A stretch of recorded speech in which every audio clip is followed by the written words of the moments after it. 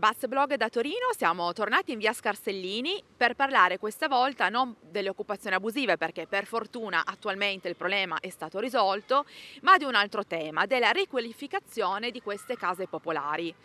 Si è parlato un po' di mesi fa di questa situazione, il comune e anche la regione dicevano che dovevano esserci dei fondi per, questa, no, per la riqualificazione, però ad oggi è tutto fermo. Cosa ne pensano quali residenti? È che oltre al degrado visibile da chiunque c'è un, eh, un, discorso più importante che è proprio quello della pericolosità, perché tutti i cornicioni sono pericolanti, sono già caduti, hanno già causato danni alle auto parcheggiate.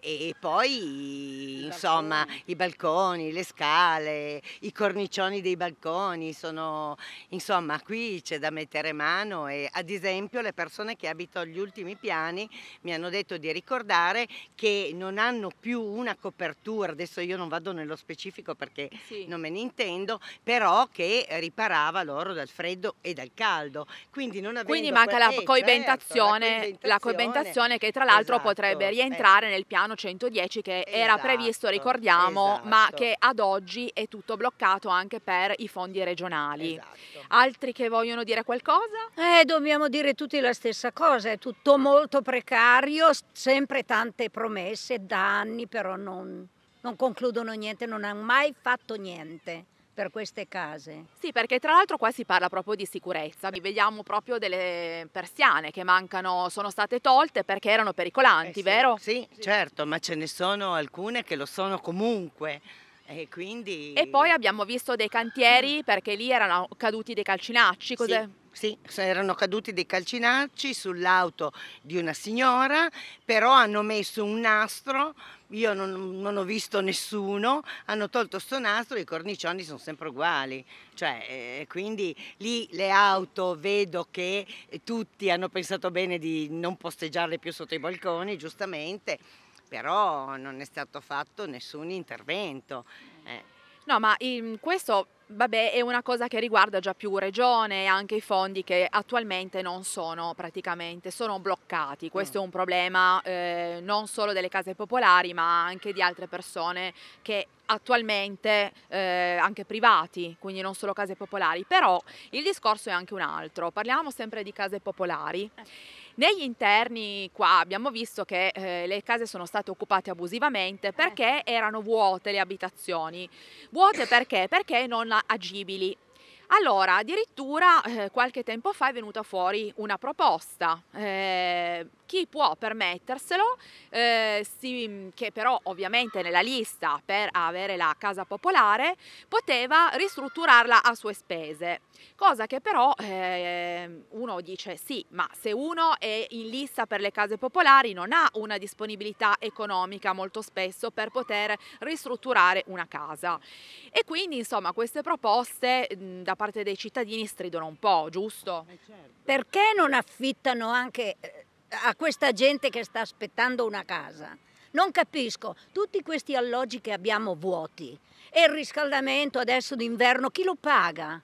Perché paghiamo tutto noi poi di questi alloggi vuoti. Tra l'altro parliamo di ambiente, qua mancano ancora le termovalvole con sì, il teleriscaldamento. Sì, sì, non siamo a norma perché le termovalvole non ci sono, abbiamo comunque dei costi ormai a un livello tale da casa privata perché questo cortile eh, tenuto come è tenuto ci costa un botto. Eh, sì, abbiamo poi visto anche là che ci sono cumuli di spazzatura, spesso esatto. e volentieri eh, sono state fatte intervenire le insomma l'AMIAT è dovuta intervenire perché comunque c'è gente che scarica lì e non è neanche residente.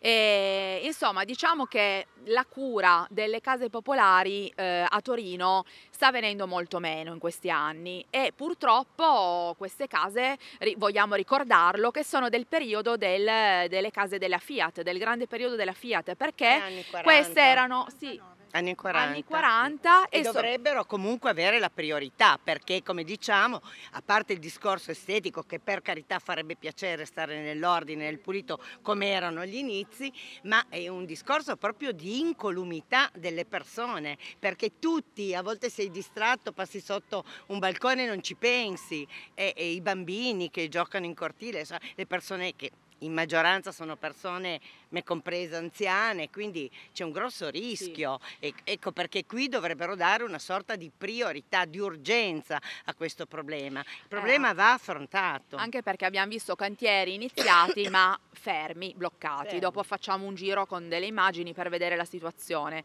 Poi vabbè, non parliamo poi dei portoncini rotti, ah. i nottolini rotti. Eh, le buche delle lettere. Le buche però lì... Ehm, una diversa dall'altra. Sì, quello però però era anche diciamo nel periodo delle occupazioni abusive. Però quando c'è un vento forte, Federica, i vetri ormai obsoleti delle finestre delle scale sono pericolanti, già tante volte sono stati rotti dalla forza del vento, certo. anche lì è un pericolo.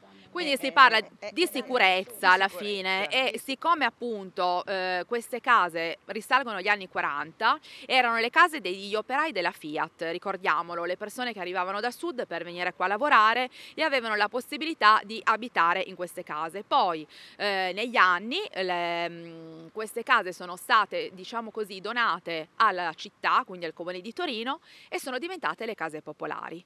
Eh, qua da via Scarsellini, insomma, abbiamo fatto un po' il quadro della situazione, Bass Blog da Torino.